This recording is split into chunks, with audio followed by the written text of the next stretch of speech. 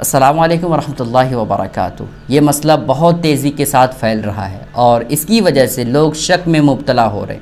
انہیں پتہ ہی نہیں کہ اس مسئلے کی حقیقت کیا ہے اور اس کے تعلق سے ایک صاحب نے سوال بھی کیا ہے کہ حضرت اگر وضو کر کے آئینہ دیکھیں یا وضو کی حالت میں آئینہ دیکھیں تو کیا وضو ٹوٹ جاتا ہے؟ اس طرح کے سوالات اور اس طرح کی باتیں خاص کر خواتین عورتیں بہت زیادہ پوچھتی ہیں۔ تو آپ سمجھ لیں کہ آئینہ دیکھنے سے وضو نہیں ٹوٹتا ہے۔ اور ایک آپ اصول سمجھ لیں، ایک آپ ضابطہ اور طریقہ سمجھ لیں۔ اس کو سمجھ لیں گے تو آپ کو اور چیزیں سمجھنے میں بہت آسانی ہوگی۔ آپ یہ سمجھ لیں کہ کسی بھی چیز کو دیکھنے سے وضو نہیں ٹوٹتا ہے۔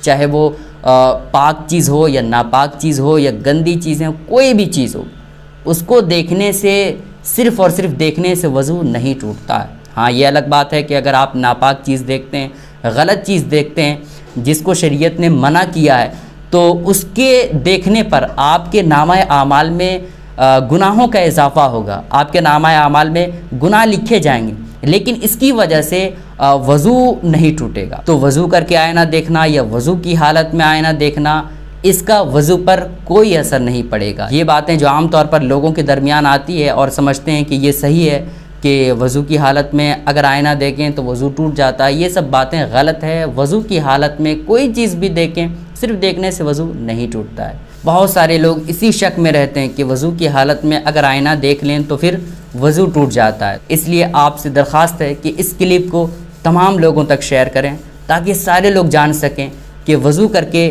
آئینہ دیکھنا یا وضو کی حالت میں آئینہ دیکھنا وضو نہیں ٹوٹتا ہے۔ السلام علیکم ورحمۃ اللہ وبرکاتہ۔